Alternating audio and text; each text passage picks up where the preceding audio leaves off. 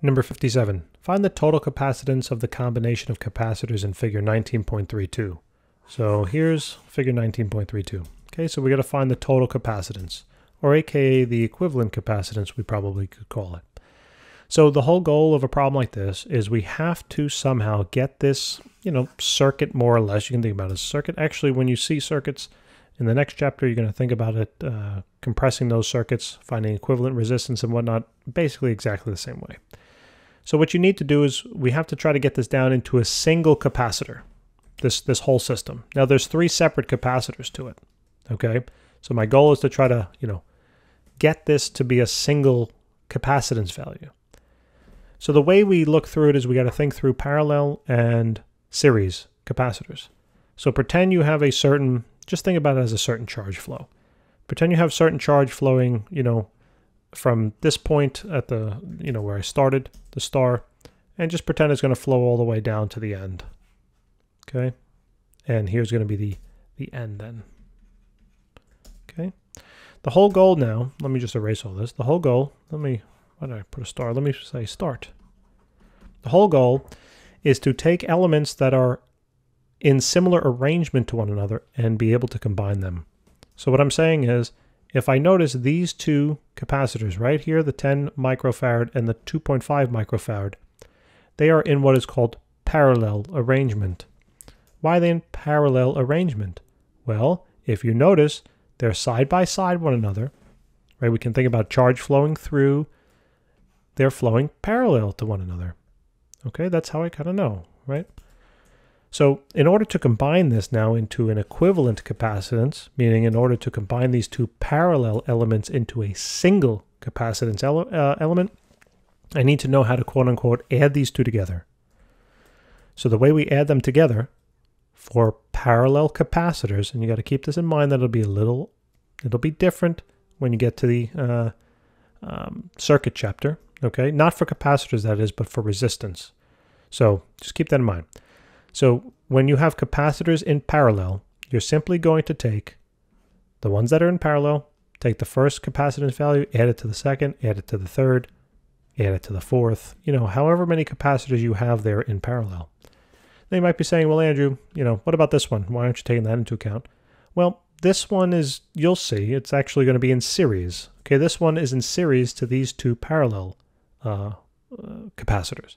But what I need to do is I do not like to look at this and try to sum all these up together. I look at little parts first, tackle the little pieces first, and if you keep tackling the little pieces over and over again, you realize you'll accomplish something great.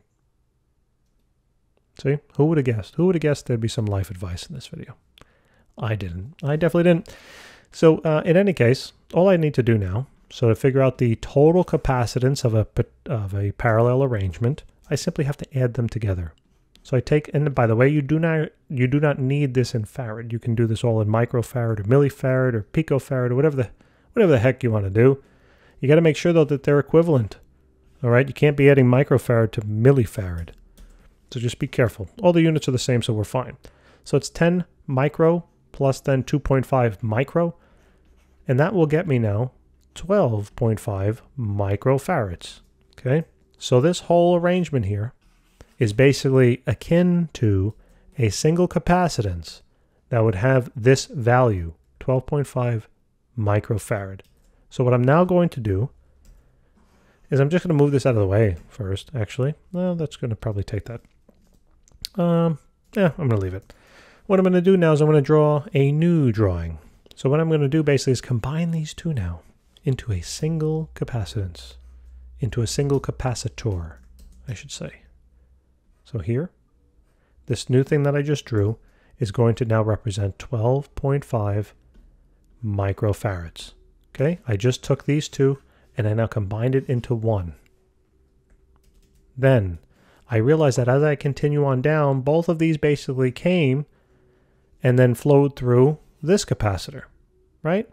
So in other words, wouldn't that be similar to saying if I combine these two now into one single capacitor here, the 12.5, I would just then continue on straight down and get to the 0.3.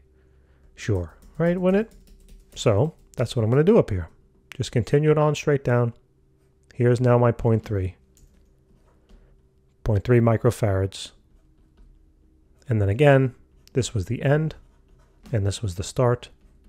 Now I have to take a step back and realize what I got here. I have then two now capacitors that are in what arrangement? These This is known as series.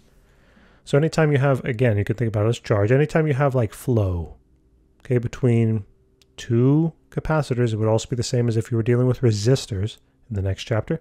Anytime it looks like things are flowing through both of them simultaneously, there's no, well, not simultaneously, but one after the other flows through this one first, then it flows through the second one. Whenever you have that arrangement, there's no branching of any sort, that's known as a series arrangement. Okay.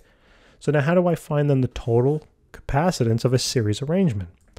Well, now it just turns out to be a slightly different formula. This says that this is now the formula.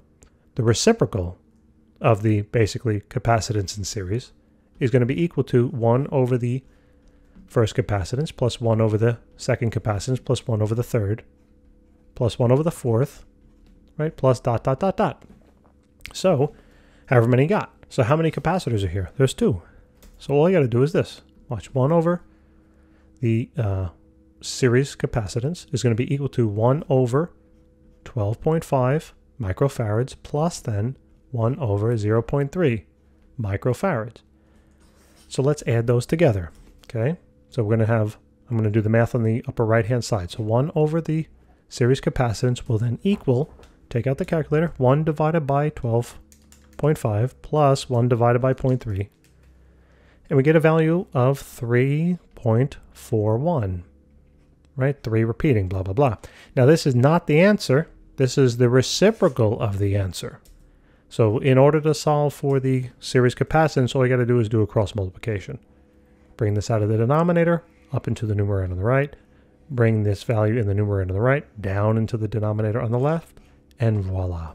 Now you can plug this into the calculator. So just take the reciprocal of it. And we're going to get a value of then 0.293.